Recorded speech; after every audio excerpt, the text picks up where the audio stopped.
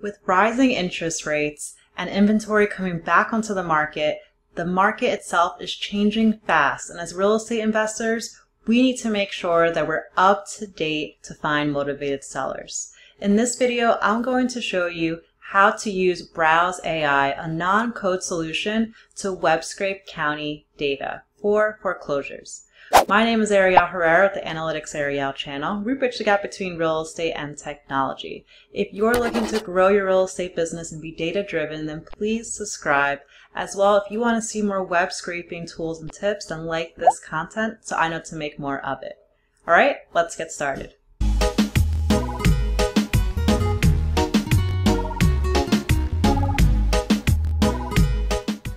We're going to cover how to get foreclosure information, and then ultimately be able to web scrape data of property owners from our county. So first, what is a foreclosure? A foreclosure is what happens when a homeowner fails to pay the mortgage. So typically when you buy a property owner occupied, you may put anywhere between 5% to 20% down and have a loan. To pay back that loan typically is 30 years and you have mortgage payments every month. Now, sometimes due to hardships such as divorce, death, or loss of job, someone may fall behind on paying their mortgage. What happens is the owner forfeits the rights to the property and it gets back to being bank owned. Foreclosures are an interesting case to find motivated sellers because if you could actually purchase foreclosures, you could typically get the property at a discount. And if you find the homeowner during the pre-foreclosure process, so before the bank has taken it back, you can potentially again get the property at a discount without it going to auction where more people would see it and it'd be visible. For our use case, we're going to search properties in Jacksonville using Redfin. Redfin allows us to filter on for sale by owner, short sales, as well as foreclosures. So if we look at Jacksonville, which is in Florida, we can search the city and we could also look at market insights too. I highly suggest for you to watch one of my previous videos of how to go through the market insights to really analyze an area. But at a high level, we could see that the median sale price for Jacksonville is 300K and there's been 1,600 homes sold, uh, which is a 10% drop year over year due to low inventory and median days on market year over year also has decreased due to the competition. So if we now go back to our view, we have all for sale properties, but we just want to focus on homes that we can get at a discount. So let's go to all filters and at the bottom we could see that we have options for selecting only foreclosures. So let's deselect the rest and see the five homes that we have. Here we have actually a really nice property in Jacksonville that's in foreclosure.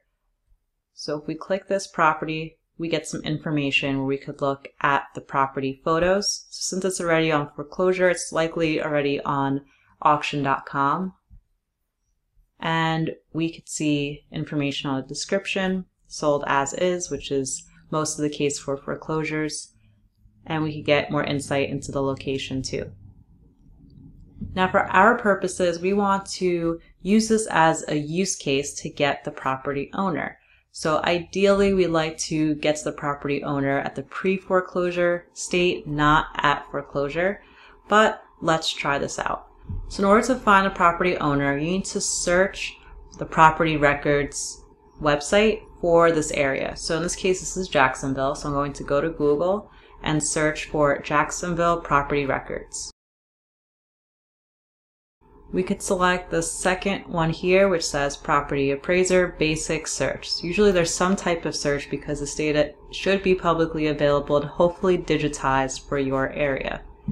This website's pretty old school. It's not that user friendly, but here at the bottom we could see property address where we can get information. So if we go back to the property that we had, let's copy this address and paste it.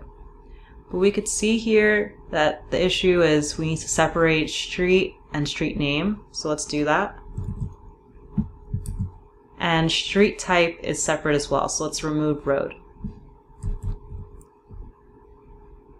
Now let's click search. And our first result should be related directly to this address. And we could see we already get the homeowner here. But let's imagine we want to get even more detail. So in our sample use case, we're getting data for one single property, including the property owner. But in most use cases, you may have a list of pre-foreclosures. And for each address, you want to be able to append information. We will use the bot to make this repeatable. But at a high level, we have information on the property owner, their mailing address, which it looks like this is owned by a larger corporation, Secretary of Veterans Affairs, and they're out of state, so they're located in Nashville. We also have information on the property detail, uh, its value. As you can see, its value has really skyrocketed since 2021. Uh, it was valued by the assessor at 270, and for foreclosure, it is listed at 420. So I guess they're trying to sell this property as is without it going to auction. And we have more information on sales history, the use of the property, as well as information on the type of roof, flooring, heating, air conditioning, and number of bedrooms and bathrooms. Great, so now we just step through how to find a property owner manually. But of course, we want to be data driven. We want to automate. So now we're going to use Browse AI in order to record our steps so that we could repeat this for any property in Jacksonville. Once you sign up for Browse AI in the link below and you're going to start your first task, there's two options. There's extract structured data and monitor site changes.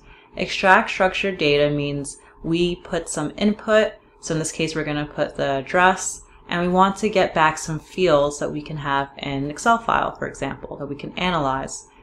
On the second end, monitor site changes. This is good if you want to see any updates. So for example, if we wanted to look at pre-foreclosures on our county website and see when any new pre-foreclosures hit the market, we could look at it with this site with monitor site changes. But in our example, we're going to focus on extracting structured data. So let's click this. And in your initial start, it's going to ask you to install an extension for Browse AI, which is normal. It needs to be able to record your actions so it could simulate it. Then after you bypass that, you're going to paste the origin URL here. So if we go back to the county appraiser site and go back to basic search, we're going to copy this URL and paste it within Browse AI to start off with. And we're going to record a new task. Once we hit record, Browse AI is going to start recording our action so that it can replicate it in the future. It can extract data as a text or list of items. So we can click OK that we understand. And now we can simulate the same exact steps that we just took.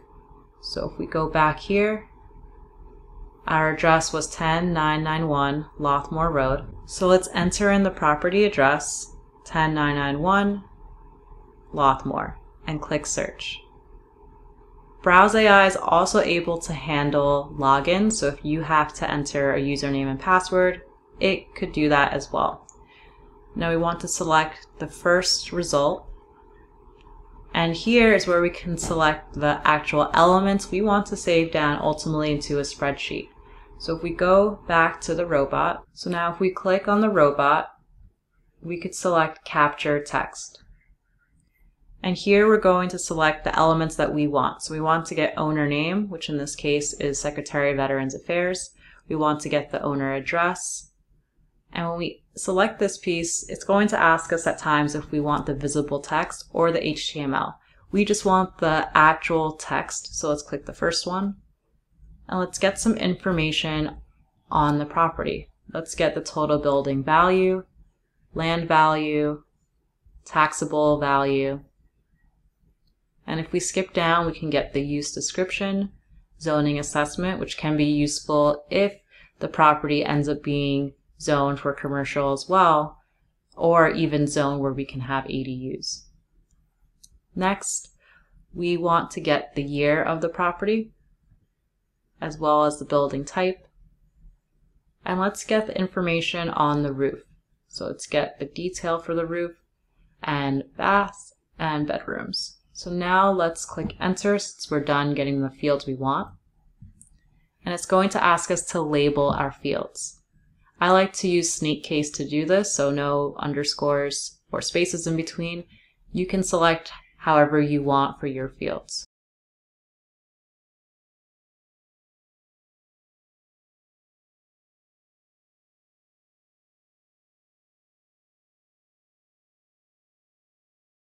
Once done, Browse AI is going to say well done and you can continue if you'd like or finish recording. In our case, we're done right here. So we can re-click and hit finish recording.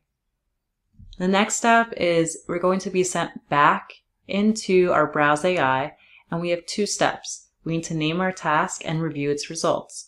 I'm just going to keep the name the same and hit save. Next, what's going to be happening is Browse AI's testing to make sure that it's able to follow the same steps that we did manually. So it sends the task to a cloud and now it's navigating the same steps. So it's going to the website and then it's going to select the same fields. And as we saw, this happened pretty quickly. We can see here that we were able to get all the fields that we needed. We can download it into a CSV file as well if we want to view it we can see all of our fields here. And if we go back, we can actually watch the video on how Browse AI was able to go to the website, enter in our elements, which was street number and then the street itself, select the first, and then take the elements. So now that this has worked, let's click yes, looks good. And now our task is done. And what we can do is we can input different parameters. So this is the street number and this is the street itself. So let's go back to Jacksonville and let's just imagine we want to go to any one of these new properties. So let's actually unfilter this and let's look at for sale by owners. So we could get the owner of the property. There's several for sale by owners. Let's select one of these here and we can input 9106 Jefferson Ave. So it's put here 9106 and then Jefferson. And we could run this task. Our task finished successfully and we could see the owner name for this property. Looks like they're an out-of-state owner since they're located in New York. And we have information on the property itself. We also have that screenshot so we could see the steps that were taken by the bot. In case there's any errors, we'll know where to troubleshoot. And what's really awesome here is that if we want to integrate this, say within a system that we have, it could be a CRM like Podio or Zoho, we could do this with Zapier. And we can integrate this to automatically go into Google Sheets. But of course, my favorite REST APIs, you could actually integrate to dynamically pull this data through an API. And I'll be showing this in part two video to show you how you could use REST APIs with Browse AI. As a recap, what we did is that we automated the process of finding property owners and more information on the property itself. Normally, we had to manually go to the county website, but we were able to build a bot with no code to do this. And it didn't take that long. It was pretty quick. We were able to enter our property address then click the property address and get information back, including property owner. So next steps we could take is actually contacting the owner ourselves. At this stage, if you're thinking, hey, Ariel, I like the method, but I want a no process solution. I just want to be able to get the owner information at my fingertips for any market because I'm not just focusing on one county, I'm focusing on many. That is fair, and in that case, I highly suggest for you to use PropStream. PropStream is a really awesome tool to be able to collect information. It collects data across counties for the United States and presents that in an easy way to be able to consume. So in our example, where we had 10991 Lothmore Road, we could actually just copy this address here we input the property and then we select it. And once we do, we could see property details on the right hand side. When we pull up the property itself, we could see that same owner that we found from the county.